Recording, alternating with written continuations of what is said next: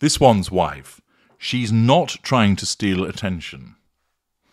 I've explained to you on many occasions that the narcissist pursues, usually subconsciously because most narcissists are unaware, the prime aims control, fuel, character traits, and residual benefits. It's massively important where you want to understand why the narcissist behaves as they do that you grasp this concept of that's what's powering the narcissist. On the surface, it might look like that they want to have a beautiful home because it's nice to live in a beautiful house. But the reason that a narcissist wants a beautiful home is so that they can then triangulate that with people in order to control them by way of their reactions. What a gorgeous house you have, and that they provide them with positive fuel. That even perhaps people look on them with envy, which delights the narcissist because it's a reaction, and reactions are what counts, because reactions are fuel, the lifeblood of the narcissist.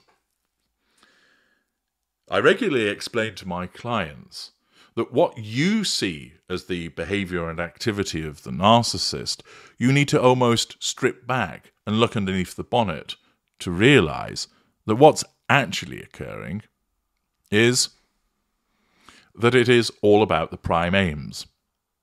Therefore, where the narcissist insults you and calls you names, that's being done to control you by way of provocation and draw fuel from you. Where the narcissist is buttering you up and flattering you, you might think that's because the narcissist is really into you. No, it's being done in a benign fashion to control you, to draw fuel from you by way of your thanks and gratitude and appreciation, possibly to access a residual benefit so that the narcissist gains money from you.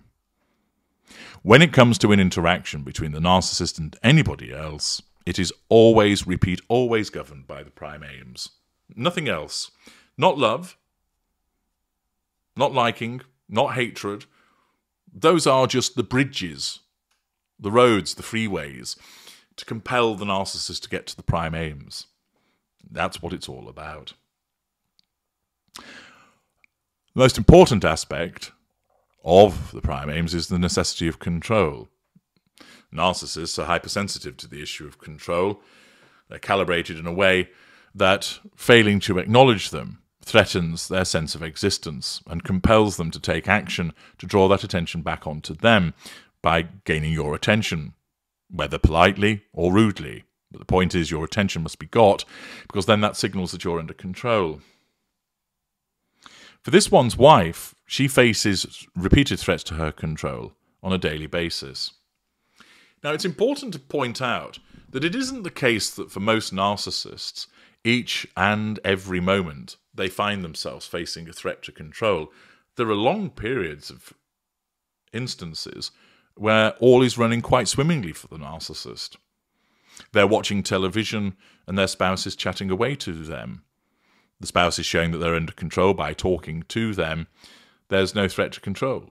There are no issues. There are no problems. And therefore, that particular narcissist does not find themselves experiencing repeated problems with regard to the issue of control. Of course, that can alter in an instant as a failure of asking a question or responding, failure perhaps of going to get the narcissist a cup of tea. But for this one's wife, because of the prominence that she has, because of the, the international scale on which she's known, and the fact that so many people are skeptical of her and don't like her, means that she faces threats to her control on a daily basis. Furthermore, unlike other narcissists which just get on with their own projects and lives and basically laugh at and dismiss the tittle tattle of individuals, she cannot help, because of the type of narcissist that she is, to delve into the world of social media and mainstream media to find out what is being stated about her.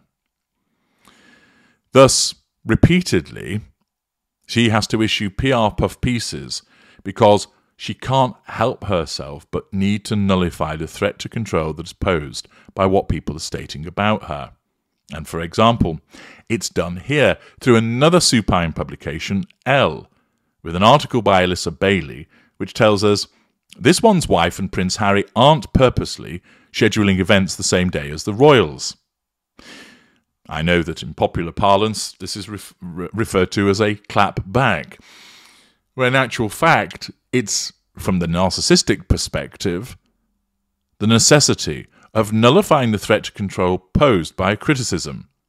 The criticism is this you, this one's wife, regularly look to upstage, overshadow, steal the thunder in relation to other people's events. This criticism therefore threatens her sense of control. Her narcissism needs to nullify it. Therefore, it causes her to issue, through a PR puff piece, a denial that that is the case, utilizing the improbably named plastic faced lickspittle weasel that is the Lieutenant Omid Scobie. At the end of November, this one's wife and Prince Harry stepped out for a rare public outing, travelling to Vancouver, see parts Passim, to celebrate the next Invictus Games, which will be hosted there. Within 24 hours, the royal family hosted the President of the Republic of Korea during a state visit to the UK, where Kate Middleton even wore a tiara. The question remains was each party aware of the other's event? Royal reporter and Bell Endgame author Omid Scobie told Elle.com in a recent interview that no, actually the teams are not coordinating the schedules anymore. A lot of people will say Harry and this one's wife, they're out to steal their spotlight, and how dare this one's wife go to this? She knew Kate was going out today, etc. The reality is there's just no communication between the royal household and their office, so of course they're not going to know when anyone steps out, he said. They are literally in the dark about what goes on within the royal family. I don't even know if they're trusted enough to even be privy to that kind of information. Well, they're certainly not. Scobie added that even the two royal households, helmed by William and Charles, respectively, aren't working together the way they used to. You actually really only need to look closer to home to see that even between Charles and Williams's offices, they seem to be operating in complete silos, because the engagements, the big tickets, the big important projects, they're all happening at the same time and on top of one another, he explained. I find that in itself very revealing about the current state of affairs between the working royals or the current working royal lineup, because many years ago every office was pretty much in sync. You would never have anyone stepping out on the same day or doing something at the exact same time as the Queen going out on an engagement. Everyone had their space. As for Harry and this one's wife being more aware of the royal family's event schedule some day, I don't think a world in which that could ever happen would be the case, Scobie admitted. This article serves two purposes. It smears the royal family by suggesting that they're not essentially coordinating with one another in the way that it used to be when Queen Elizabeth was alive, and also issues the protestation from this one's wife no, no, no, no. I'm not trying to steal anybody's attention. The problem with this is twofold. One, she's a narcissist, and therefore we all know she craves attention because it's fuel to her. Two, her behaviour demonstrates that that's the case. Therefore, despite the denials and protestations of Omid Scobie, they're not actually going to take her anywhere in terms of convincing anybody that she isn't attempting to steal the limelight. Furthermore, his explanation that there is no coordination between this one's wife and the royal family, whilst that's correct, she doesn't need that in order to, to attempt to steal their thunder. How so? Well, all she needs to do is look in the media, which she regularly does, to see what Kate and William and Charles, etc., have been doing, because it's reported on. And we all know that because of her narcissism's need for control, she needs to know what they're all up to. And therefore she looks and she finds out.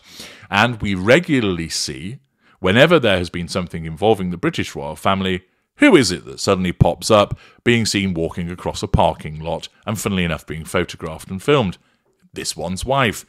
Oh, who all of a sudden decides to go to the ice hockey? This one's wife, to ensure that she's seen on the Jumbotron. Accordingly, no matter what the protestations of her loyal lapdog, Omid Scobie, to suggest that she doesn't seek to steal the attention, we know one, she does because she's a narcissist, Two, we know she does because we've seen it happen repeatedly.